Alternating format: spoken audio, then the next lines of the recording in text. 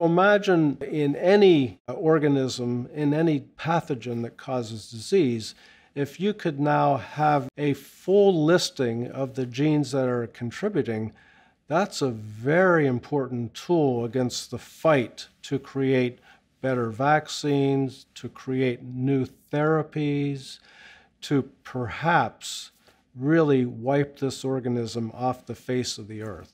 We had a tool that would permit us to very rapidly hone in on the crucial genes contributing to group A strep necrotizing myositis.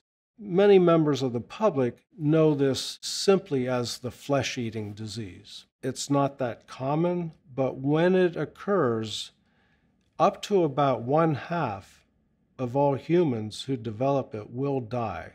We used a technique called TRADIS, originally applied to an organism called Streptococcus equi, a really interesting pathogen that causes a disease that in horses is called strangles. This is like the strep throat infection in horses. This is a special genetic tool that permits us to very rapidly inactivate every gene in the group A strep genome. This is a very new technique that has only recently been applied to a small number of other pathogens.